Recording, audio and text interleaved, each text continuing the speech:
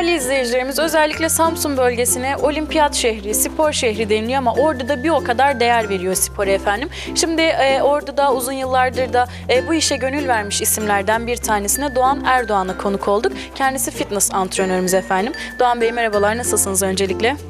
Hoş geldiniz. Hoş bulduk. Çok teşekkür ediyoruz. Bizler deyiz. Öncelikle Doğan Bey sizleri birazcık tanıyalım. Ekran başındaki izleyicilerimize kendinizi tanıtın. Daha sonra so- söyleşimize başlayalım.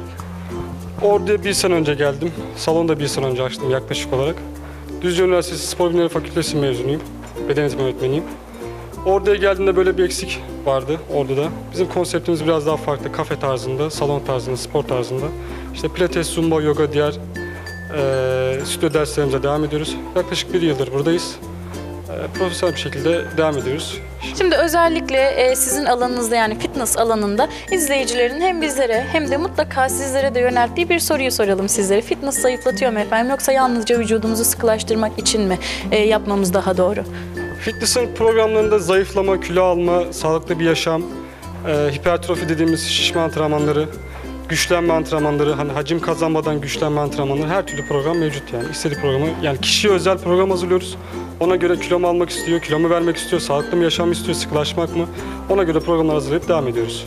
Şimdi burada pilates, zumba gibi e, dersler de sizin tarafınızdan yani ekibiniz tarafından veriliyor.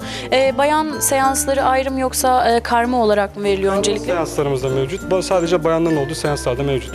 Yine bu zumba e, konusunda da zayıflamada ciddi oranda e, başarılar elde edildiğini görüyor. Sizler ne- neler söylersiniz hocam? Şöyle söyleyeyim, e, Zumba'da insanlar artık e, eğlenceli bir şeyler yapmak istiyorlar. Eğlenerek kilo vermek, e, üyenin de kendini kattığı bir e, ders oluyor. Sıkılmadan yaptıkları için daha iyi kilo verme sonuçlarını elde edebiliyoruz.